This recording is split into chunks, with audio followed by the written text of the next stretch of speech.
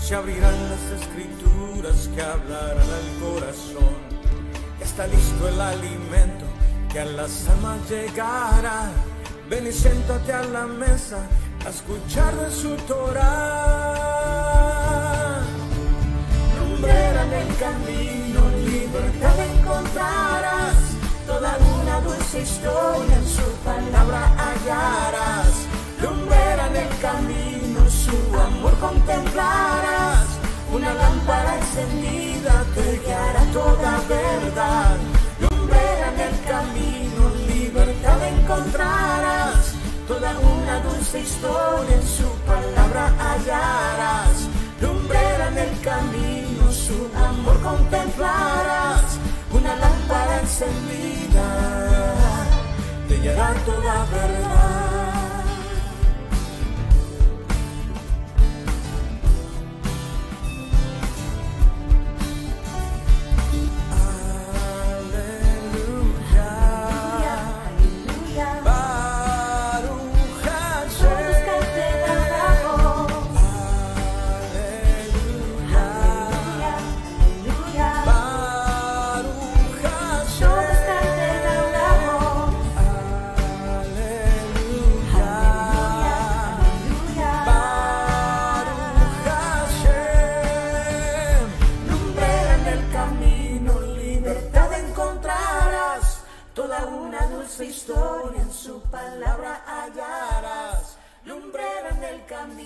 Su amor contemplarás. Una lámpara encendida te llevará toda verdad.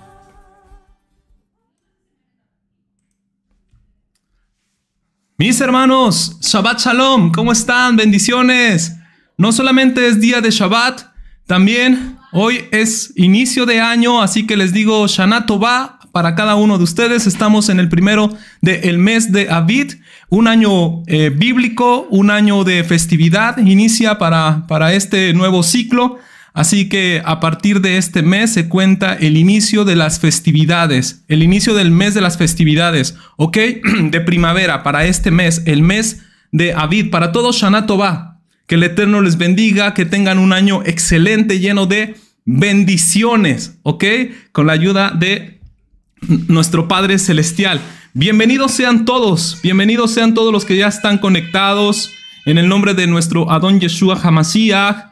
Me da mucho gusto saludarles a cada uno de ustedes, los que están por acá. Eh, saludo a mi hermano Jorge Naranjo, a mi hermana Janet Lozano, a mi hermano Rosario Ramírez, Sara Paola Gallardo, Daniela Tobato, mi hermana Fanny Cruz, mi hermano Ricardo Cruz, Francisco Nájera, Bienvenidos a cada uno de ustedes. Nidia Trujillo, Rafael Martínez, eh, Silvia Hernández, mi hermano Fernando, mi hermano Fernando Gaeta, ya estamos, ya está por acá también, ya listo y pendiente de la enseñanza para este día. Ricardo Cruz, creo ya lo había mencionado. Mi hermana Elizabeth Ruiz.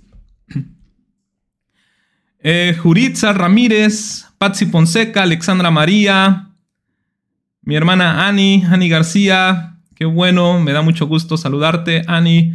Recibe bendiciones. Mi hermano eh, Francisco Javier, muchas gracias por la sedacá, muchas gracias de verdad que el Eterno le multiplique en grande manera. A todos los que están diciendo Shanato va, reitero nuevamente, Shanato va para cada uno de ustedes también. Shabbat Shalom. Perfecto. Así que es un, es un día de doble bendición. La bendición del Shabbat, que sabemos que el Shabbat eh, trae consigo una bendición muy especial y al ser primero del mes de un nuevo año, también hay una bendición muy especial para todos aquellos que están eh, dándole gracias al Eterno por esta bendición de llegar justamente este día. Hay una bendición especial también para ustedes. Así que estamos en una doble bendición el día de hoy. Sean bienvenidos todos y a todos los que participan en el chat. Muchos saludos a los que ah, dan una aportación, una semilla, una sedacá. Muchas gracias de verdad. Que el Eterno se los eh, pague con muchas eh, bendiciones. Quiero inmediatamente ir al punto de la enseñanza de hoy que nos corresponde en la parashá de Tashria. Hablemos de la lepra. Vamos a hablar de la lepra. ¿Qué es la lepra? ¿Cuántos casos de lepra existirán hoy en día de acuerdo a esa lepra que anuncia la Biblia? ¿O será que la lepra que anuncia la Biblia es una lepra completamente diferente a la lepra actual, conocida como el padecimiento de Hansen? ¿Es diferente? ¿O no será que los médicos están ocultando algo que al darse cuenta de algo que no tienen claridad, al darse cuenta que no hay una explicación, entonces simplemente lo remiten y lo diagnostican como si fuese padecimiento de Hansen? ¿E-, ¿Existe esa posibilidad de que en realidad esa lepra que anuncia la Biblia sigue existiendo, se sigue presentando físicamente hablando y que hay quienes lo están ocultando? ¿Cuántos tipos de lepra había en la Biblia? ¿Cuántos tipos de lepra hay actualmente también? Y la pregunta que hago en esta enseñanza es, ¿cuál es la peor de las lepras? De todas las lepras y todos los tipos de lepra que hay, ¿cuál será la peor de todas las lepras? Así que vayamos inmediatamente a ver lo que dice la Biblia y esto se encuentra en Levítico capítulo 13, que dice de la siguiente manera. Habló Yudhet Babhei a Moisés y a Aarón, diciendo, cuando el hombre tuviere en la piel de su cuerpo hinchazón o erupción o mancha blanca, Noten que hay tres especificaciones, tres señales. Y si hubiere en la piel de su cuerpo como una llaga de lepra, aquí lo único que se anuncia es de que es una posible llaga. ¿Cómo? Como llaga. Es decir, no se puede asegurar todavía que es una lepra. Simplemente se tiene que inspeccionar. ¿De acuerdo? Entonces, se tenía que proceder a una inspección. Dice el, el verso será traído a Aarón el Cohen, el Cohen Agadol, o a uno de sus hijos los Coanim. Y el sacerdote lo mirará la llaga en la piel, mirará la llaga en la piel de su cuerpo. Si el pelo de la llaga se ha vuelto blanco y le pareciere una llaga y apareciere una llaga mucho más profunda en la piel de la carne, entonces llaga de lepra es. Aquí ya se tiene que declarar como una lepra. En hebreo esta expresión es tzaraat. ¿De acuerdo? Tzaraat, que es justamente esta, este mal que aquejaba a una persona con estas indicaciones. Entonces, ¿qué va a suceder cuando ya se señaló de que es tzaraat? Dice, el sacerdote, el Cohen, le reconocerá y lo va a declarar inmundo. Va a decir que es Inmundo. Nótese que no dice enfermo, dice inmundo. Mucha atención con esa expresión. Y si en la piel de su cuerpo hubiere mancha blanca, pero que no pareciere más profunda que la piel, ni el pelo se hubiere vuelto blanco, entonces el Cohen encerrará al llagado por siete días, y al séptimo día el Cohen lo mirará y si la llaga conserva el mismo aspecto, no habiéndose extendido en la piel, entonces el Cohen le volverá a encerrar por otros siete días, y al séptimo día el sacerdote le reconocerá de nuevo, y si parece haberse oscurecido la llaga que no ha cundido en la piel, entonces el Cohen le declarará limpio. Note esa expresión, limpio. No dice sano necesariamente, limpio era simplemente una erupción. Y lavará entonces sus vestidos y será limpio. Lo que podemos ver inmediatamente en esta lectura es de que Zaraat, la lepra que está anunciando la Biblia, en sí no era una enfermedad, sino era una plaga, un castigo. ¿Cómo así? No era una enfermedad. Algunos dicen, es que la enfermedad de lepra no era en sí una enfermedad, porque la enfermedad necesita una cura. Y en este caso, no había una cura, no había un remedio para la persona que era declarado con Zarat. Por eso es que el Cohen, al diagnosticarlo, al observarlo, decía inmundo, no decía enfermo. Y quiero que veamos esta diferencia. No es lo mismo inmundo que estar enfermo. No es lo mismo estar sano que estar limpio. ¿Pueden estar juntas? Sí. ¿Una persona enferma e inmunda al mismo tiempo? Sí, pero no necesariamente es una característica igual a la otra. ¿Estoy siendo claro? Lo voy a explicar y espero eh, eh, darme a entender. Vamos a remontarnos por un momento dado a ese tiempo, a esa época. ¿Qué pasaría si nosotros nos percatamos en nuestra, que nuestra piel empieza a salir una marca protuberante y que nos parece algo raro, la vemos, nos parece extraño, ¿qué será? Entonces, si nosotros seguimos la indicación de la Torah, somos responsables en ese aspecto y vamos directamente con el Cohen Agadol o con uno de los Juanim y decimos, oye, chécame, ¿no? Porque me salió esta mancha, tengo esta, esta herida y esta llaga y quisiera que la pudiera revisar porque puede ser lepra. Chécala. Y entonces vamos a remontarnos por un momento a ese momento. Y si nos la están revisando, obviamente nosotros tendríamos como un cierto temor de la noticia que pudiéramos escuchar. La peor de las noticias es inmundo. Zaraat la mejor noticia que pudiéramos recibir en ese momento, que es la mejor de lo, mejor de lo peor, porque en realidad, aunque sea una buena noticia, es mejor que lo inmundo. Por eso digo lo mejor de lo peor. Lo peor de lo peor es la inmundicia, declararte con zarat, declarado con zarat, con lepra. Y la mejor noticia, que era lo mejor de lo peor, era si estás enfermo, porque si hay una infección, posiblemente una intoxicación, provocada por el ambiente, provocada por el sol, provocada por el frío, por la resequedad, por el polvo, porque algo estuviste en contacto con algo que te produjo una infección y naturalmente te enfermaste tu piel se enfermó, hubo una, una, bacteria que atacó tu piel y entonces cutáneamente se empezó a evidenciar esa marca. Por eso, es la mejor noticia, la mejor noticia dentro de lo malo, porque obviamente tener algo así no es muy bueno que digamos, ya es algo adverso, ya es algo desagradable. Pero de eso a lo otro era mejor esperar la noticia de que es una simple erupción, es una simple intoxicación, es una infección, se va a reducir. Es decir, si está enfermo, te das cuenta entonces que podía estar enfermo, pero no necesariamente inmundo.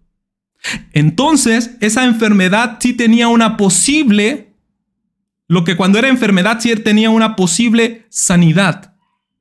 Debemos entender que no estaban en la completa ignorancia, porque luego he escuchado comentarios que dicen, es que no sabían cómo tratarla, es que no había eh, antibióticos en aquel tiempo. A ver, no estaban en completa ignorancia. Ya había un recorrido de 1500 años en esta humanidad que obviamente ya tenían muchos conocimientos de herbolaria, de mezclas de aceites, de ungüentos, de bálsamos para sanar las pieles. Cuando alguien se cortaba, cuando alguien quedaba herido, cuando alguien tenía una quemadura, la gente ya sabía manipular algunas hierbas, algunos eh, aceites esenciales para poder curar y hacer bálsamos, hacer ungüentos y curar las heridas. Es decir, ya existían tratamientos para eso, no es que estaban en la completa ignorancia. ¿Estoy siendo claro? Por eso es de que si alguien tenía una herida y le decían simplemente es una herida, simplemente es una infección, y entonces ya podía tratar esa herida, con algún ungüento, con algún aceite, con algún bálsamo. ¿Estoy siendo claro? Pero ¿qué sucedía cuando decían, eres inmundo? Lo que estoy viendo es zaraat, es lepra. Lo que le están diciendo es, no tienes cura. No hay forma, no hay un remedio. No te eches ni siquiera un ungüento porque no va a sanar, porque no es enfermedad. A lo que yo puedo decir entonces, el enfermo necesita ser curado, el inmundo necesita ser limpiado. ¿Notan la gran diferencia? El inmundo necesita ser limpiado, el enfermo necesita ser curado. Entonces por eso no se puede atacar la lepra, tzaraat, como si fuese una enfermedad. Entonces aquí ya podemos notar que, como dicen muchos comentaristas, que tzaraat en realidad era un castigo divino. Era una plaga directamente del Eterno. Era una manifestación de la ira de Adonai contra una persona directamente. Por eso es que también se entiende que esa zarat no es la misma que hoy se conoce como el padecimiento de Hansen, que es provocada en sí por una bacteria. Y por eso dicen, no es lo mismo. Ok, no es lo mismo. Pero me llama la atención que cuántos tipos de lepra habían en la Biblia. Era la única lepra, era la única evidencia o manifestación que generaba la lepra. En realidad habían tres y si nos da tiempo en esta enseñanza vamos a profundizar en ellas. Habían tres direcciones donde se podía alojar la lepra. Una era la que estamos viendo y leyendo, que es en el cuerpo humano, sobre la piel. Sobre la piel empezaban a salir estas llagas o marcas protuberantes, eh, indicaciones que había una posible lepra. Había también otra dirección o otro lugar que eran las ropas, las telas, las cortinas o los objetos de cuero. También se podía alojar la zaraat, es decir, no solamente un hongo, no solamente que un hongo atacó la tela, no, una zaraat, es decir, algo que lo está provocando el Eterno. Es decir, un mal, una plaga que está provocando el Eterno sobre las ropas o sobre las telas o sobre los cueros. También había otro lugar que eran las paredes, es decir, los ladrillos de, de las casas. No solamente estamos hablando, por lo tanto, de una humedad o de un hongo, sino literalmente un mal, una plaga sobre esa casa. Entonces, habían tres direcciones y digo, ahorita vamos a, hablar un poquito de, esas tres manifestaciones. Pero también me llama la atención que cuando Saraat se alojaba en la piel del ser humano, en el cuerpo del ser humano, también evidenciaba tres formas. Así como habían tres direcciones donde se podía alojar Saraat, también habían tres evidencias, tres señales, tres indicativos para la zarat en el cuerpo humano, y aquí la vemos al principio, hinchazón, erupción y mancha blanca. ¿Lo notan? Que aparece en el versículo 2, o al menos la Reina Valera traduce así. ¿Cómo se dice en hebreo cada una de estas tres especificaciones? Que podemos decir que son tres tipos de lepra en la piel, tres tipos de lepra diferentes, con el mismo título, Zaraat, pero con eh, manifestaciones diferentes, ¿ok? E efectos diferentes son estos tres.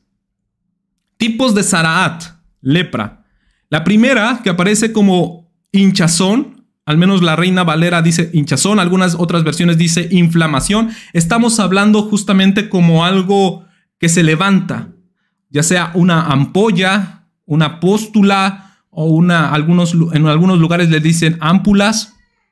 Pero también eh, entendamos que esto SEET era como un tumor interno y que brotaba sobre la piel. Es decir, se, manifestaba sobre la piel, pero era un tumor interno. Y entonces la persona se empezaba a llenar de todos estos tumores y se empezaba a salir como estos, estos abscesos, ¿ok? En su piel. Entonces era algo completamente raro y extraño y tenía que ser analizado. Si solamente era como un absceso de grasa, entonces obviamente tenía que ser tratado de esa manera. Pero si había algo diferente como una extensión de eso, entonces se podía declarar tzarat. La otra expresión que traduce como erupciones es el término zapahat. Zapahat. Podemos entender esta expresión como sarpullido, ¿ok? Como una, como una mancha roja que se va extendiendo, obviamente también levantada, y que se va enrojeciendo y que se van uniendo las manchas y se va extendiendo sobre todo el cuerpo. Eso era zapahat. Y la última, que la Biblia le traduce como mancha blanca, es beeret. Es la mancha, beeret. A estas tres indicaciones se les llamaban llagas. En hebreo esa palabra llaga, una de las posibles eh, palabras en hebreo es nega. Nega es esa marca, es decir, Seet era una nega, Zapahat era una nega, Beeret era una nega, era una llaga, era una evidencia de Zaraat. ¿Estoy siendo claro? Ahora, todos sabemos perfectamente que esta Zaraat, por lo tanto, no era producida por una bacteria, por algo natural. Ah, estuve en contacto con y entonces me infecté y por eso sucedió. No, Estamos hablando de que era algo divino. Era una reprensión divina. Y cuando estudiamos a todos los leprosos de la Biblia, nos vamos a encontrar también que existen tres, tres características, tres orígenes que causaban justamente Zaraat. Cuando nosotros estudiamos todos los leprosos de la Biblia, vamos a encontrar un pecado en ellos. Y normalmente son tres tipos de pecado también. ¿No? Entonces vamos viendo cómo hay grupos de tres. La Zarat en tres lugares, cuerpos, telas y, ladrillos, ¿cierto? Cuando atacaba el cuerpo humano, lo hacía en tres formas. hinchazón, erupción y manchas. Seet, Zapahat, Beeret. Producidos por tres pecados. ¿Cuáles son esos tres pecados? El primer pecado es la arrogancia, la altivez, la soberbia. Ese es el primer pecado, arrogancia, altivez, soberbia, orgullo. Ese es el primer pecado.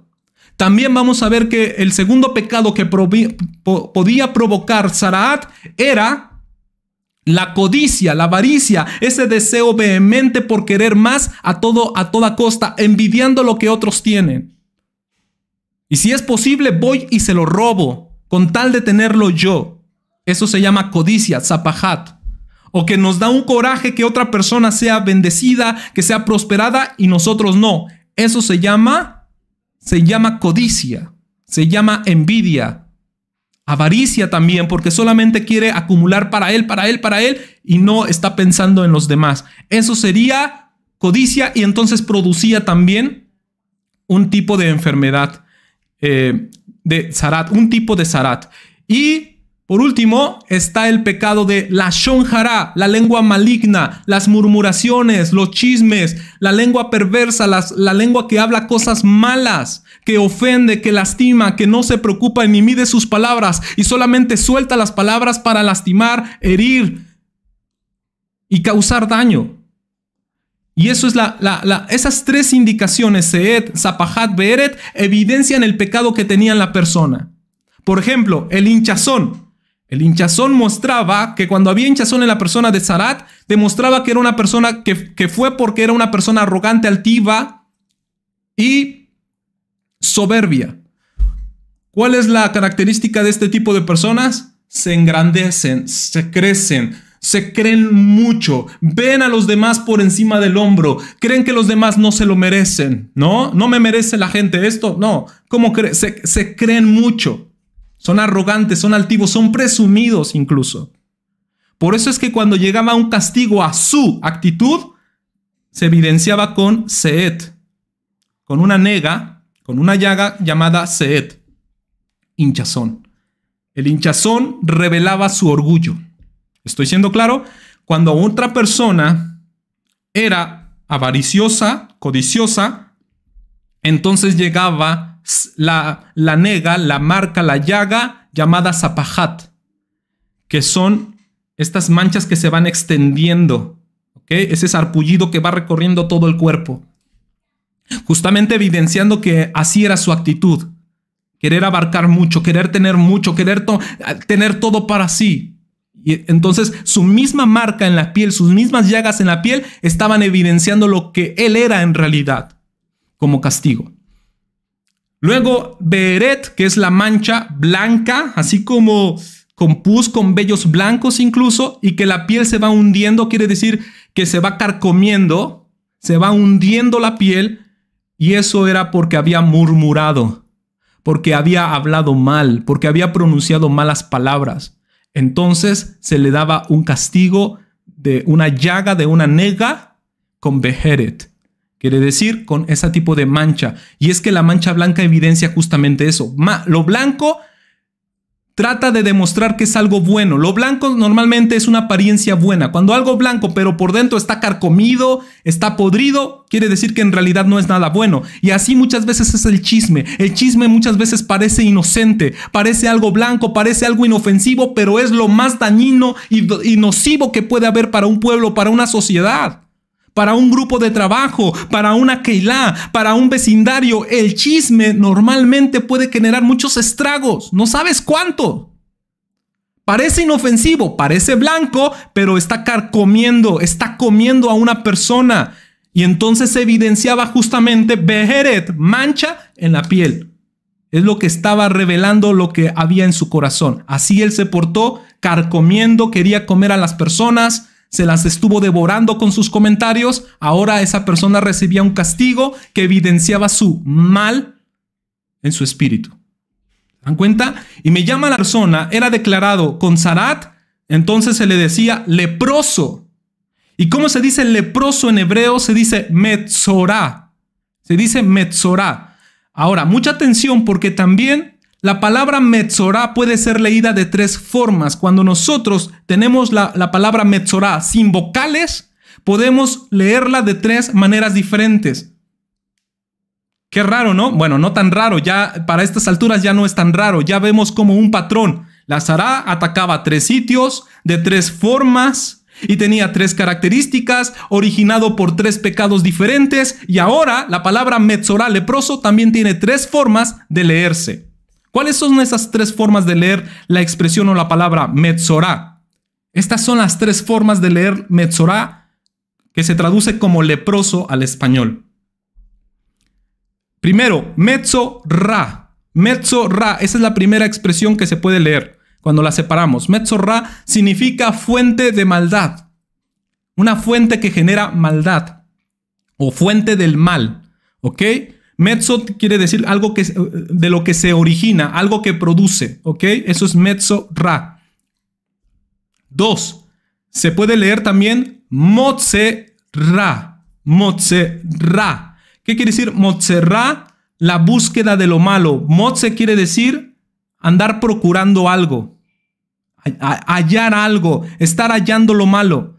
Entonces, búsqueda de lo malo, búsqueda del mal, motze ra. Y tres, se puede leer motzi ra. Fíjense cómo estas, estas letras pueden ser leídas de tres formas. ¿eh? Motzi ra. Y motzi ra quiere decir pronunciar lo malo, pronunciar. Motzi viene del verbo sacar, ¿ok? Sacar. Entonces, cuando tú hablas, estás sacando simplemente de lo que hay en tu interior. Lo estás pronunciando, lo estás sacando. Por eso se entiende como pronunciar lo malo. Haciendo justamente una alusión de que cuando nuestro corazón está malo, ¿qué vamos a hablar? Pues, cosas malas. De la abundancia del corazón habla la boca. Entonces, si hay cosas perversas y malas aquí en el corazón, vamos a estar pronunciando cada cosa.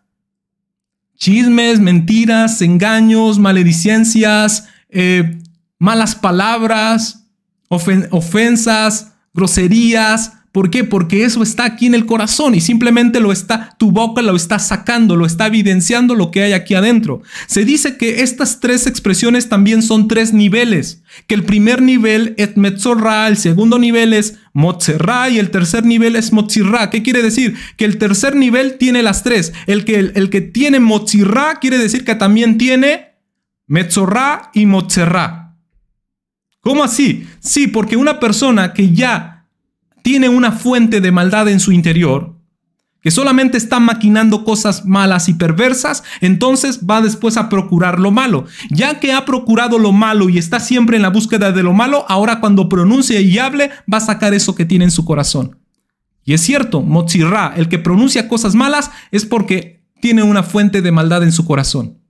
Y ha estado buscando, y no solamente eso, ahora está buscando el mal en las otras personas y entonces para pronunciarlo y denunciar y crear chismes, murmuraciones. Por eso es que también son tres niveles. Ahora, ustedes pueden notar que estas tres expresiones con las que se puede pronunciar Metzorah también se aplican a los tres tipos de pecados que mencioné. El orgullo, la arrogancia, que es el orgullo y la arrogancia. Y también es la codicia o la avaricia. Y la lashon hara, las murmuraciones. Metzorra se asocia justamente con el, que, con el que es altivo y arrogante. Y Motzerra se puede asociar con la persona que es avariciosa o codiciosa. Y Motzirra con la persona que practica la shonjara. Su lengua solamente habla continuamente el mal. Esto está impresionante. Y justamente es lo que dijo Yeshua en Lucas capítulo 6, verso 45. Lucas capítulo 6, verso 45. Dice, el hombre bueno del buen tesoro de su corazón saca lo bueno, y el hombre malo del mal tesoro de su corazón saca lo malo, porque de la abundancia del corazón habla la boca. Así que cuando una persona habla, el cómo habla refleja lo que hay en su interior, refleja lo que hay en su corazón. Si es motzirra, si es leproso, seguramente estará sacando todas estas cosas. Por eso yo preguntaba, ¿cuántos tipos de lepra había? ¿Cómo se pueden identificar el día de hoy? ¿Cuál es la peor de todas? ¿Será que las que hoy existen, las lepras que hoy existen, se pueden comparar con estas? Yo puedo decir que la peor de las lepras, sin duda, la peor de las lepras es la que no se evidencia físicamente, sino que se queda en el interior. Una lepra que ataca el espíritu, una lepra que ataca el alma, el hombre interior y no necesariamente al hombre exterior. Esa es la peor de las lepras. ¿Por qué? Porque no se ve, está oculta y está y existe. Allí está alojada la zarat. Y es tan peligrosa porque no la ven. Es mejor que le apareciera porque cuando se aparezca inmediatamente se puede identificar que es Zarat. ¿Qué se hacía en aquellos tiempos? El Cohen decía inmundo. ¿Y qué es lo que se tenía que ejercer? Un aislamiento. Se tenía que separar a esa persona del campamento, retirarlo. Y cuando se retiraba del campamento, esa persona empezaba a vivir una vida miserable. Literalmente, una vida miserable en condiciones precarias, hostiles, porque ya nadie le podía, se podía acercar. Imagínate esa, esa, esa situación, esa persona que le declaran, estás inmundo, tienes zarat, te tienes que ir del campamento. Es decir, despídete de tu familia, despídete de, de tus papás, despídete de tus hijos. Ya no los vas a abrazar, ya no vas a poder convivir con ellos, de tu esposa. Olvídate. Queda separado de ellos. Estás, estás viviendo sin vida. Por eso mucha gente que era declarado con Sarat y al, al, aislarlo preferían la muerte, porque estar viviendo así era como estar, estar muerto en vida. Porque ya no tenían vida. Porque estaban solos, porque estaban apartados. ¿Sabes lo único que pudiera esperar el leproso? Que existiera otro leproso por allí para que le hiciera compañía. Fíjate el deseo tan miserable que podía tener un leproso. Que existiera otro leproso para que pudiera por lo menos platicar, seguir hablando con alguien más. O estar conviviendo con alguien. Entonces si en la ciudad habían dos, tres, cuatro leprosos, ¿sabes lo que se hacía? Se destinaba un lugar para ellos. Esto me llama la atención porque entonces quiere decir que los, los, los, leprosos podían hablar entre sí. Es decir, no se separaban los leprosos. Él es leproso, ve con el otro leproso. Y el otro leproso, hay cuatro leprosos, pues que se junten los leprosos. Y eran solamente los que podían dialogar entre sí, convivir entre sí. Si se quieren abrazar, que se abracen. Si se quieren dar la mano, que se la den. Están leprosos. Se hacía una confraternidad de leprosos, ¿cierto? Por eso es que también vemos en la Biblia cuando a Yeshua le gritaron diez leprosos. Yeshua, ven David, Yeshua, hijo de David, ten misericordia de nosotros. ¿Cuántos eran? Diez leprosos. Era una comunidad, una pequeña comunidad de leprosos. Se juntaban entre estos diez leprosos, vivían juntos estos diez leprosos. Entonces hoy en día se puede identificar ese tipo de lepra, yo creo que sí. Me llama la atención que en Levítico capítulo 10, verso 10, a los Koanim, se, les da esta indicación, es decir, la parasha anterior se le dio la indicación a los Koanim. Ustedes se deben mantener sobrios, sin participar de bebidas alcohólicas y todo esto, ¿para qué? No se emborrachen, les está diciendo. Manténganse sobrios, manténganse íntegros, manténganse en Kedushá. ¿Por qué?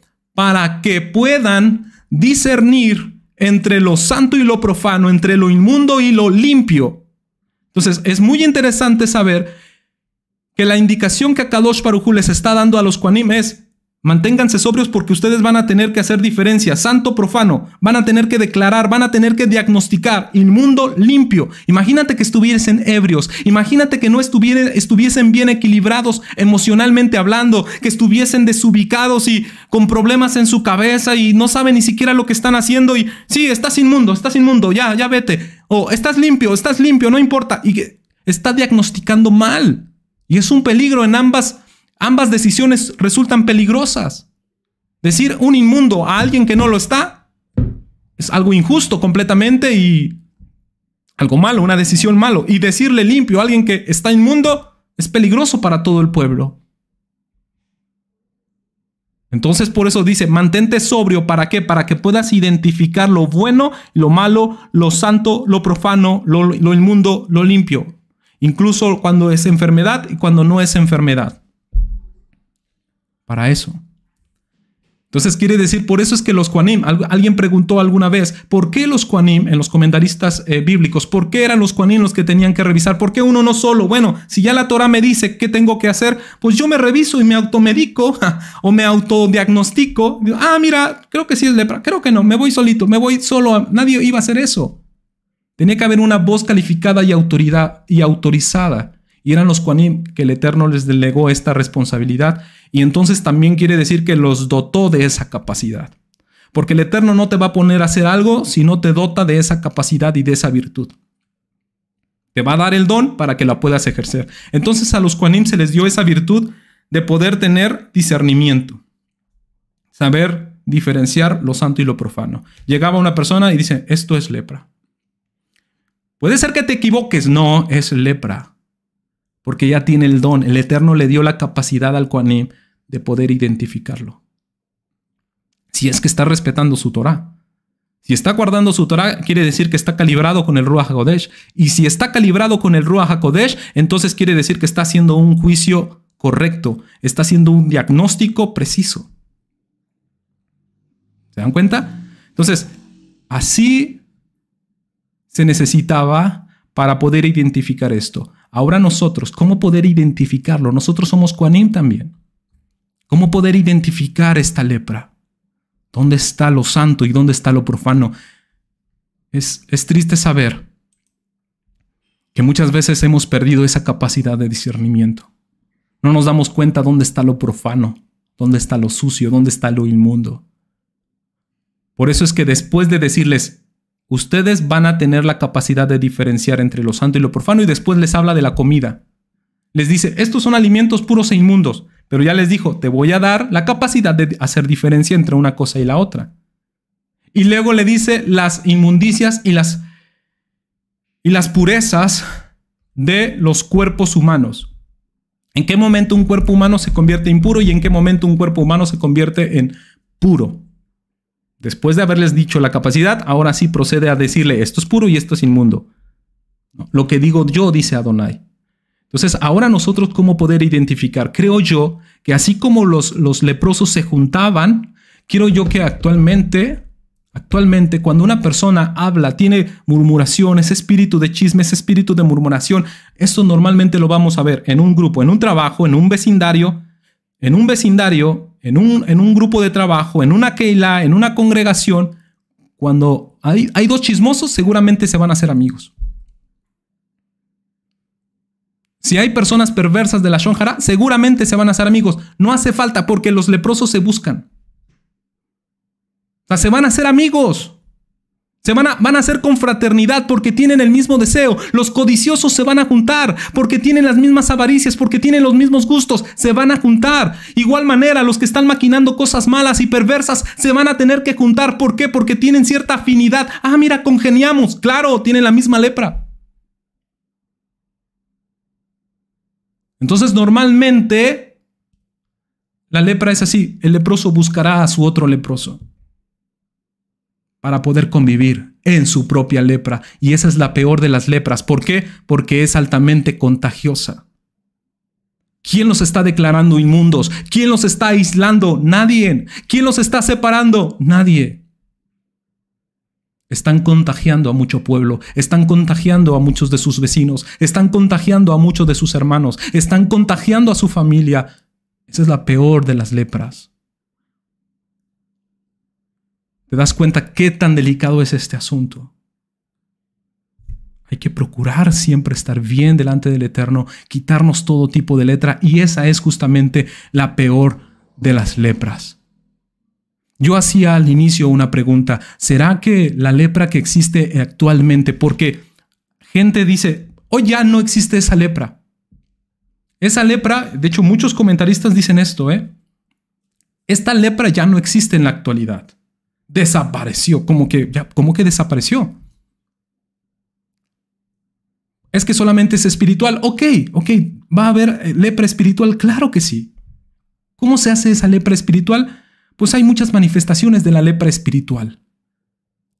Si hacemos una comparación con la lepra actual, se dice que los de la lepra actual pierden la sensibilidad de sus pieles, ataca el sistema nervioso, que sí sienten comezón, que sí sienten ardor, pero que la, en sí la llaga como está viva, llega un momento en que no sienten, no sienten el ardor, no sienten que se, como, oye, al tener una llaga, una herida, uno estuviera sufriendo, con, oh, aquí la tengo, ¿no?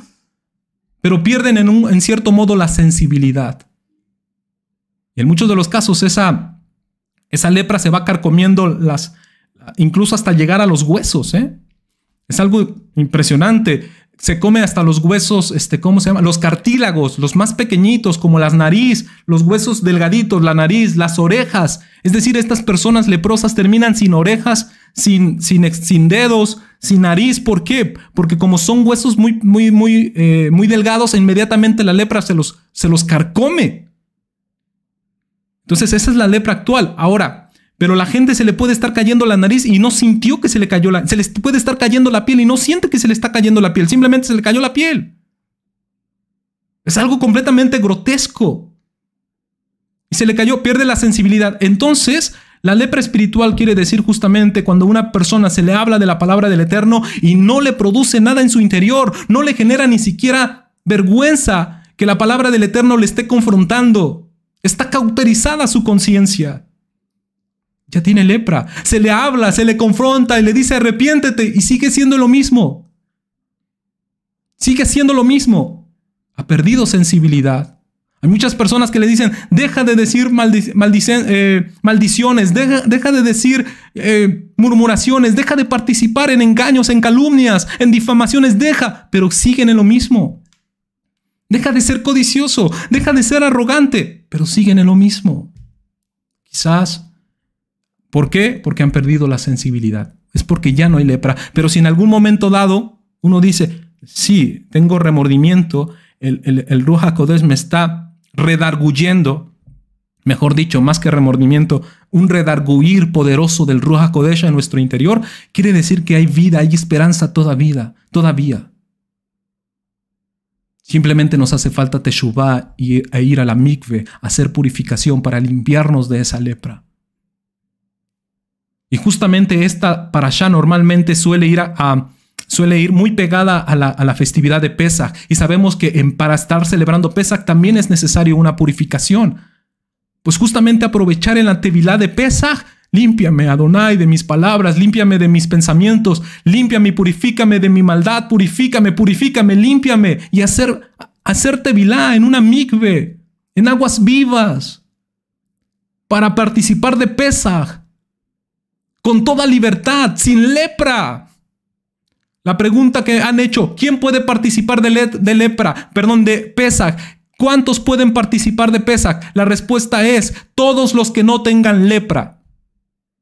Ya, porque los que no tienen lepra pueden congregarse, los que no tengan lepra pueden estar dentro del campamento. Si estás dentro del campamento tienes derecho a participar de Pesach, pero si tienes lepra se te necesita apartarte, no tienes derecho a participar de Pesach. Entonces por eso también la Biblia dice que cada uno que cuando vaya a tomar del vino, de la copa, y cuando vaya a participar de ese pan, dice que pruébese a cada, cada uno a sí mismo. ¿Estoy bien? ¿Tengo lepra? ¿No la tengo? Estoy manifestando, estoy teniendo estas indicaciones que marca la Biblia de Zaraat, espiritual, insensibilidad, orgullo, altivez, codicia, la shonjara. Cuán importante es también hacer tevilá y purificación antes de pesa. Justamente para esto. Justamente para no estar en la peor de las lepras.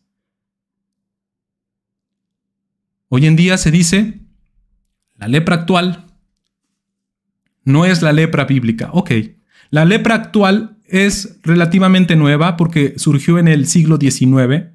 Ya estamos en el XXI, comenzando el siglo XXI. La lepra actual, o conocida como el padecimiento de Hansen, porque fue un médico noriego que descubrió esta bacteria, la descubrió, pero la bacteria ya estaba desde antes. Por eso hay que analizar muy bien estas, estas declaraciones. La bacteria ya existía. El, médico noruego la descubrió y le dio un nombre y la analizó y la estudió y la explicó y, todo, y, e hizo los tratamientos en el siglo XIX, ¿no? Entonces dicen, esa, que es, eh, hay, eh, esa Sarah que existe actualmente no es la misma que está en la Biblia. Y algunos han dicho, no confundamos el padecimiento de Hansen con Saraat. No es lo mismo. Yo puedo decir, tienen razón, pero yo me ponía a pensar en esto. A ver, si no puedo confundir el padecimiento de Hansen, lepra común, lepra actual, con Saraat, la lepra de la Biblia, no hay que confundirlas. ¿No puede suceder exactamente la inversa? No confundas, no confundas la Saraat, la lepra de la Biblia, con padecimiento de Hansen. ¿Qué estoy diciendo? Que posiblemente esa Saraat física evidenciada en la piel puede ser que todavía se esté dando y que haya muchos médicos que le estén diagnosticando con padecimiento de Hansen. Es lepra, es una bacteria, esto, y entonces empiecen a dar tratamientos para la bacteria, pero en realidad no es padecimiento de Hansen. ¿Por qué no pensar al revés? ¿Por qué no pensar a la inversa? Oye, si no tengo, si no tengo que confundir el padecimiento de Hansen con Zarat, ¿por qué? ¿Por qué no también pensar a la inversa? No confunda Zaraat con el padecimiento de Hansen, porque posiblemente sea Zaraat. Lo que estoy diciendo es algo fuerte, ¿por qué? Yo me ponía a pensar en esto porque hay muchos que dicen, esta Zaraat ya no existe. Yo me ponía a pensar, ¿ya no existe? ¿Físicamente ya no existe? Y si hay médicos, creo que los médicos van a poder hacer una investigación más seria al respecto. Pero yo te quiero compartir algo que es algo triste y muy delicado, porque conocí a alguien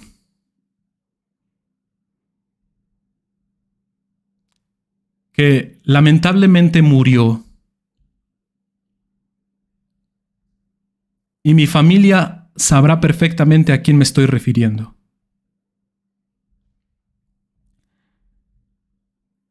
Y esta persona, los últimos días de su vida, sufrió tanto. Fueron días de tormento, agonía,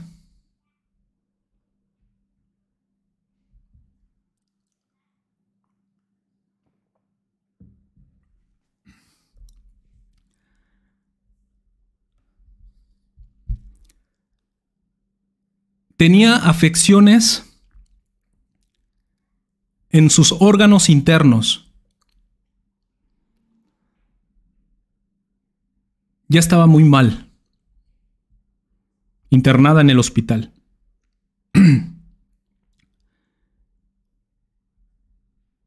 y de repente, una extraña enfermedad en su piel. Su piel se empezó a tornar de color blanco.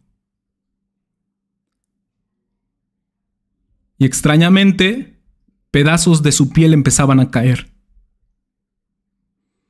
Se empezó a despellejar. Los médicos creo que no le hicieron ni siquiera ya caso a eso, porque ya era una, ya a esta persona ya la habían desahuciado. Entonces ya ni siquiera le hicieron más estudios para saber qué tipo de lepra era, qué tipo de enfermedad era sobre su piel. Ya, ya, porque ya estaba desahuciada por todas las afecciones que tenía en su, en su interior. Simplemente lo que procedieron fue a vendarla a esta persona. La vendaron completamente y ya como estaba desahuciada, ya nomás estaban esperando que muriera. Pero algo extraño completamente sobre su piel.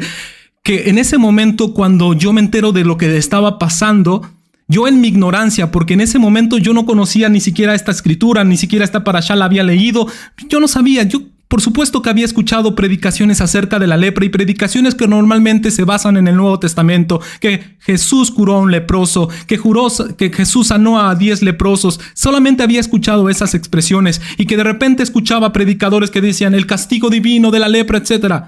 Entonces cuando simplemente yo había escuchado acerca de esto, pero no había profundizado como tal, en este tema. Y me acuerdo que a esa edad, desde mi ignorancia, y repito, lo dije desde mi ignorancia, lo dije desde mi ignorancia, porque si hoy sucediera, no dijera algo así. Ni siquiera me atrevería a preguntarle a Dios algo así. Pero en su momento, cuando esto estaba pasando, yo le pregunté a Dios, ¿esto es un castigo? ¿Es un castigo divino sobre esta persona? Hoy, hoy por hoy no haría esta, esta pregunta porque he aprendido a no decir que Dios castiga. Bueno, que sabemos que Dios reprende. Claro que sí. Ya lo vemos, existe reprensiones. También existe la misericordia. También existen enfermedades que son producidas para darle la gloria al Eterno, para manifestar el poder del Eterno. Por eso es que a veces, muchas veces yo prefiero quedarme callado y que sea el Eterno el que hable, el que al final de los tiempos Él nos diga, esto era una, un castigo, esto era una reprensión, o esto simplemente era una enfermedad producida por algo natural del, del que sucedió. Pero yo en ese momento, desde mi ignorancia, pregunté al Eterno, ¿esto es un castigo? Lo dije así, Y después, esa persona, poco antes de morir, dijo lo siguiente.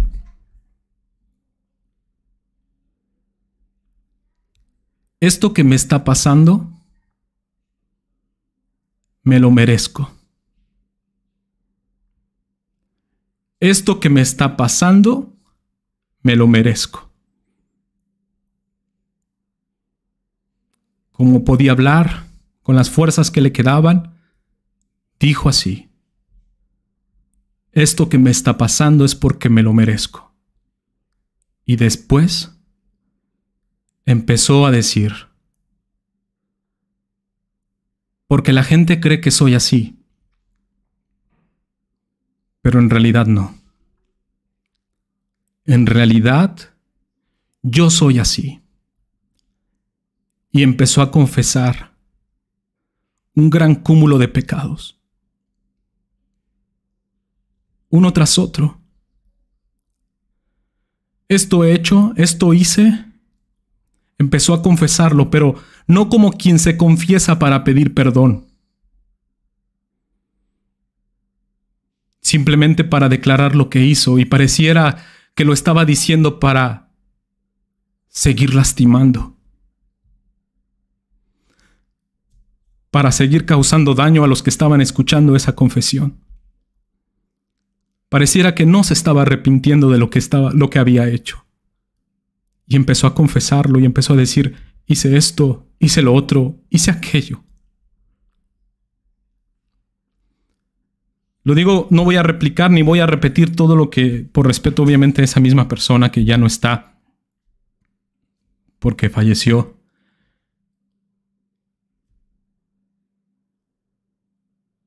Pero esas confesiones fueron nuevamente como si fuesen la Shonjara, produciendo y generando otro mal a las personas que estaban escuchando esas confesiones.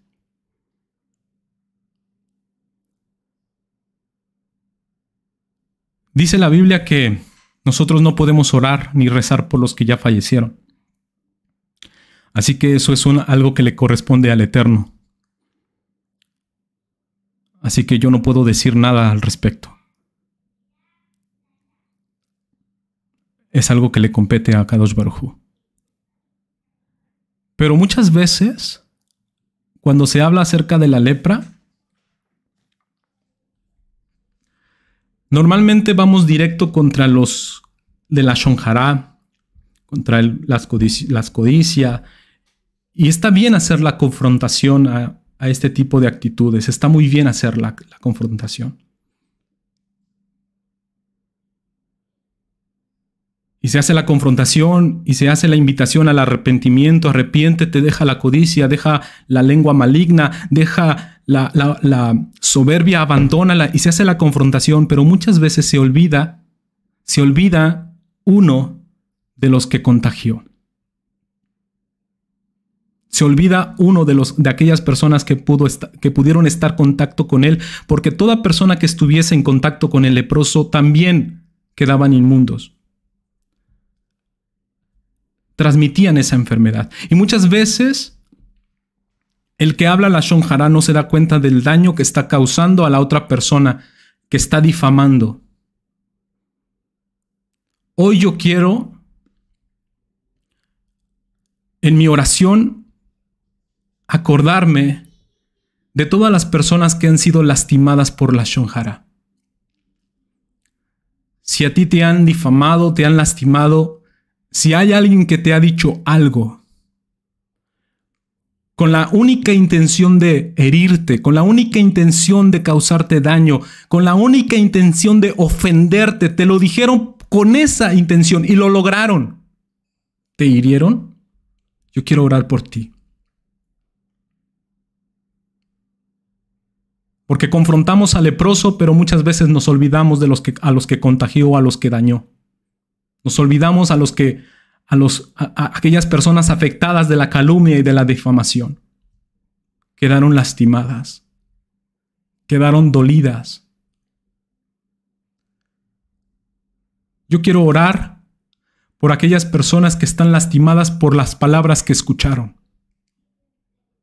Por eso dicen los sabios de la Torá que cuando alguien habla la shonjara, mata a tres personas. ¿Cuáles son esas tres personas que mata? Mata a la persona a la cual está difamando, mata a la persona a la cual se la está diciendo, le está contando la murmuración y la calumnia y se mata a sí mismo. Mata a tres personas.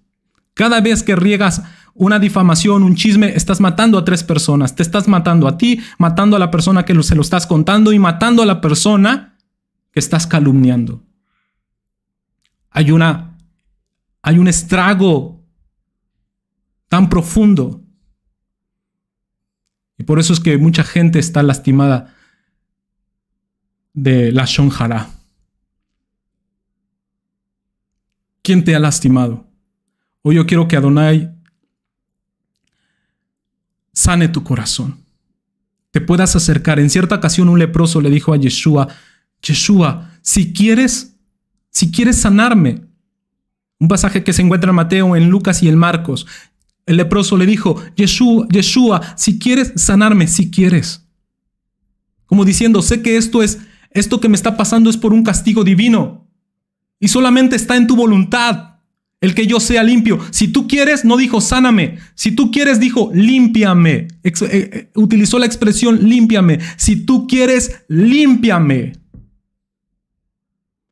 Y Yeshua le dijo, quiero. Y no le dijo, sé sano, le dijo, sé limpio. Repito lo que decía al principio, el inmundo no necesitaba sanarse, necesitaba limpiarse. Cuando Yeshua sanó a los enfermos, les dijo, sé sano, tu fe te ha salvado, tu fe te ha sanado, porque era una enfermedad. Pero la lepra no era en sí una enfermedad, era un castigo divino. Por eso es, límpiame a Kadosh Barujú, estoy inmundo. Y esto que me sobrevino es porque yo hice el mal, porque me lo merezco. Si tú quieres, límpiame. Notamos que en la Torah solamente Akadosh Barujú tenía el poder para quitar la lepra, para enviar la lepra y para quitar la, lepra. Dice la escritura, Él hace la llaga, pero Él también la cura. La llaga, ¿cómo se dice llaga en hebreo? Nega. Es la misma palabra que está aquí para decir las llagas de, de, de impureza de Zaraat. Él hace la llaga, pero Él la quita. Él la hace, Él la quita. O sea que no hay poder humano que la pueda quitar. Solamente está en su sola potestad el ponerla y quitarla. Si tú quieres. Entonces, ¿qué le están diciendo a Yeshua? Tienes el poder. Tienes, eres Adonai. Si tú quieres, le están diciendo, si fuese un simple ser humano, le están diciendo a un ser humano, límpiame de la llaga que, que hizo Dios. ¿Cómo así? Solamente Él tiene el poder de hacer la llaga y de curarla. Y dijo, quiero, quiero, yo lo quiero, sé limpio. O sea que no solamente le dio un remedio, no solamente le dio un antibiótico, le dio la palabra profética de limpieza.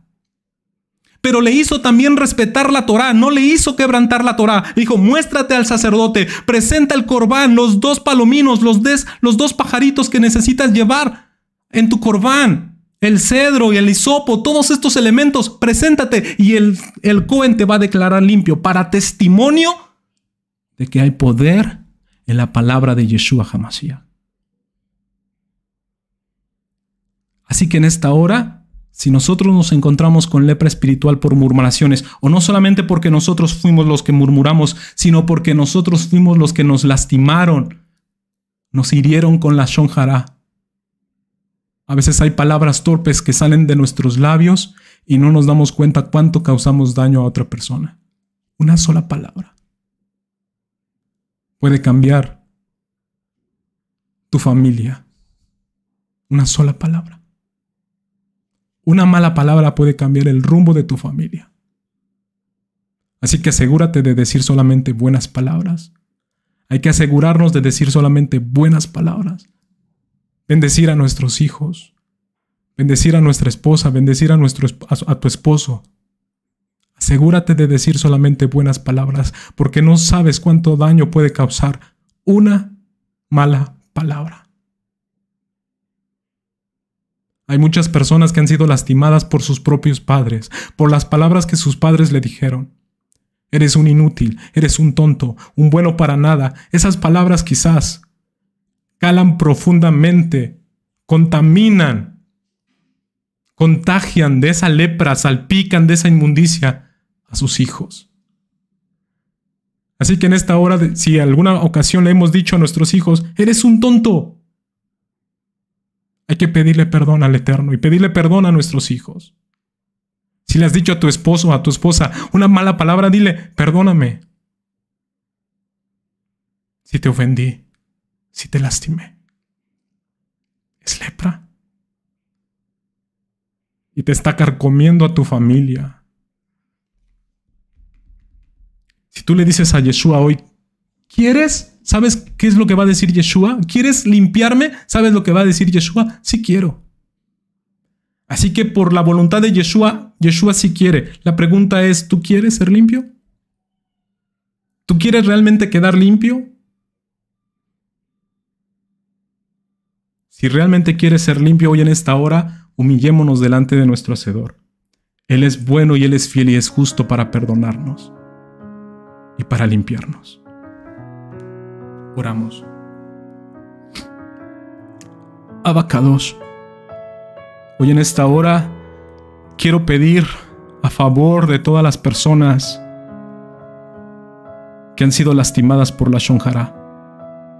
Pero primero te quiero dar gracias, quiero entrar ante tu presencia con agradecimiento agradecerte por tu palabra, agradecerte por tu amor, agradecerte por tu bondad, agradecerte por tu misericordia, agradecerte porque no nos has pagado conforme a nuestras obras, sino nos has pagado conforme a tu misericordia, porque muchas veces no nos damos cuenta las, cuántas heridas ocasionamos, cuántas llagas ocasionamos por nuestras palabras, por nuestra codicia o por nuestra arrogancia, nuestra altivez, nuestro enojo, nuestra ira. Muchas veces no nos damos cuenta de lo perverso que somos, por ser tan religiosos, por, por estar obstinados, por estar cegados. Así que te doy gracias por tu palabra que ha sido puntual, que ha sido específica en esta hora. Gracias por tu palabra, Kadosh Baruchu. Gracias por tu amor inefable. Gracias por tu amor tan grande, tan inmenso. Gracias por amarnos tanto. Gracias por enviar a tu Hijo Gracias por que Él llevó nuestras enfermedades en la cruz, nuestras llagas, por sus llagas nosotros fuimos curados. Gracias, gracias, gracias. Porque en medio de esta situación existe misericordia. En medio de este, de este mal, de esta plaga existe misericordia. Solamente hace falta preguntarte, Yeshua, ¿quieres sanarme? Y qué hermoso será escuchar tu voz diciendo, quiero. Ahora solamente nosotros necesitamos decirle a Él, yo también quiero, quiero quedar limpio. Pero no solamente quiero quedar limpio de las consecuencias del pecado, quiero quedar limpio del pecado mismo, de lo que lo originó, de lo que lo causó. Quiero que limpies mis labios, quiero que limpies con hisopo mi espíritu. Que me purifiques que tú seas mi mikve. Que tu palabra sea la mikve que yo necesito de purificación, que limpie mis pensamientos, que purifique mis ojos, que purifique mis oídos. Lo que respiro incluso, lo que sale de mi corazón. Limpia mi corazón, Adonai. Quiero que tú seas la mikve que mi alma, mi cuerpo necesita, mi ser interior. Tal vez las aguas físicas serán la mikve para este cuerpo, pero las aguas espirituales serán la mikve para mi espíritu. Así que en esta hora, Adonai, te pido por todo este pueblo de Israel que hoy se conectó en esta transmisión. Quiero pedirte a favor de todo el pueblo de Israel, que en muchas de las ocasiones estamos lastimados, heridos por las palabras, por los comentarios, por un mal comentario, por un mal gesto. Y muchas veces nosotros no nos damos cuentas y comentamos algo y estamos causando una herida y estamos causando un mal un comentario desubicado, fuera de lugar. Perdónanos, Adonai, por haber causado heridas profundas a nuestros hijos, a nuestros pequeños, a nuestros, a nuestros cónyuges. Perdónanos, a nuestros padres. Muchas veces los jóvenes le contestan a sus padres con enojo porque están creyendo que la corrección es injusta y muchas veces no saben lo que están diciendo y hieren a sus padres con sus palabras. Perdónanos. Perdona a los que han lastimado, pero también limpia, limpia a los que han quedado heridos, a los que han quedado lastimados por esas palabras. Sánanos, límpianos, purifícanos, fortalece nuestro Ruach. Te lo pido en el nombre de Yeshua ten misericordia de nosotros, porque somos leprosos, pero también, también hemos sido contagiados. Ayúdanos. En el nombre y por los méritos de nuestro Adón Yeshua HaMashiach. Amén.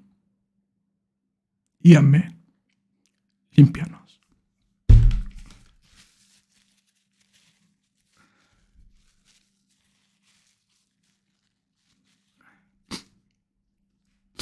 Que el Eterno les bendiga a cada uno de nosotros y que cada día podamos estar en pureza y en limpieza y en purificación. Shalom, shalom, mis hermanos.